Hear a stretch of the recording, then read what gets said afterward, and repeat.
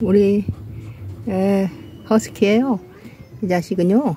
음, 아주 쌈꾼이야 쌈꾼 암컷인데 엄청 대식하고 쌈꾼이에요. 허스키야 허스키. 아 여기 나무 어, 뒤로 가서 음, 이쪽으로 허스키야 이리 엄마 좀 봐요. 아 음. 음. 허스키야 얼굴을 쫙 크로즈업 해보세요. 어? 아 아주 우아하게 생겼어요. 음. 유일한 암컷이에요.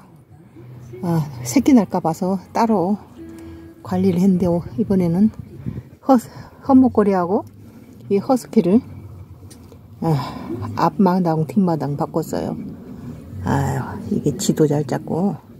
음, 사장도 잘해요. 아, 근데 순놈들하고는 별로 안 싸우는데 예, 치킨이하고는 간혹 싸워요. 아, 야 헛목걸이 엄마 좀 봐요.